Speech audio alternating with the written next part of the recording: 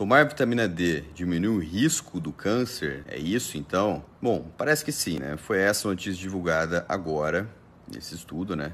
Estudo médico apontou que os pacientes que tomavam vitamina D tinham um menor caso de um câncer bem agressivo da pele, tá? O melanoma. Então, tomar D vai levar uma proteção contra o melanoma? Tá certo isso? Vamos ver, pessoal, acho que não é bem por aí, eu vou te explicar isso, você vai entender o porquê, tá? Você imagina um estudo hipotético, né, que avalia o aparecimento do câncer de pulmão em quem carrega um isqueiro no bolso. Só isso, tá?